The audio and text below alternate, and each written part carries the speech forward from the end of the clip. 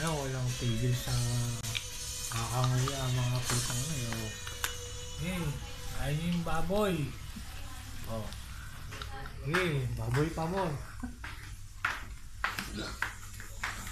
No, patingin yung buto. Ayan, oh. Sige, try mo.